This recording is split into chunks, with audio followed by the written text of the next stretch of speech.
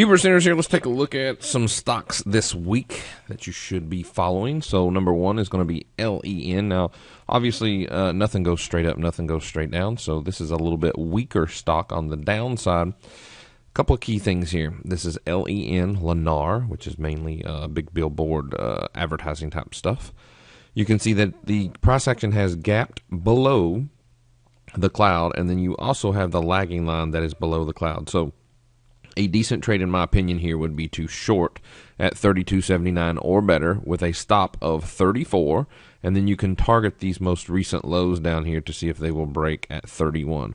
So you would short it at 32.79 with a protective stop loss of around 34. First target will be $31. Now it looks like it if it breaks that, then you'll have a little bit more to drop to the downside, which will give you a trade at 28.80.